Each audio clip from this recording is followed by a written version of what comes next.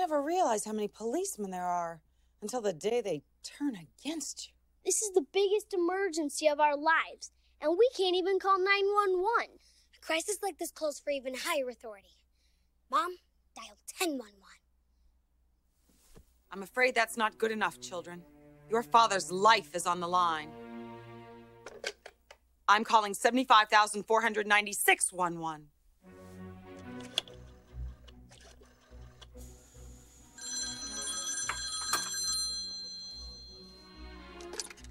Yeah.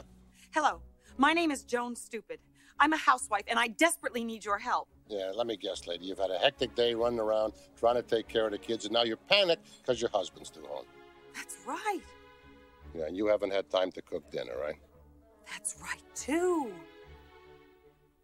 Yeah, I hear it every day of the week. What you need is our family special. What's your address? 55 Maple Street.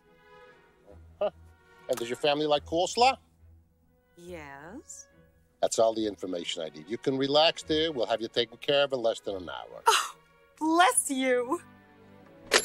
No need to worry, kids. The most sophisticated emergency response team in the world is working with us now. Interestingly enough, their strategy involves coleslaw.